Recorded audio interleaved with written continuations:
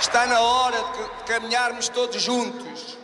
Está na hora da família sportinguista perceber que o mais importante é o Sporting Clube Portugal.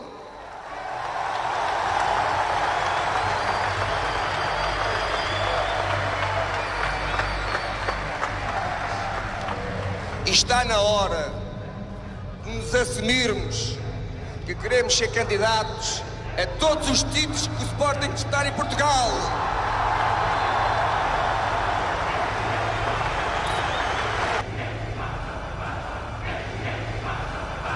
A 13 de setembro de 2015, André Carrilho veste pela última vez a camisola do Sporting num jogo oficial.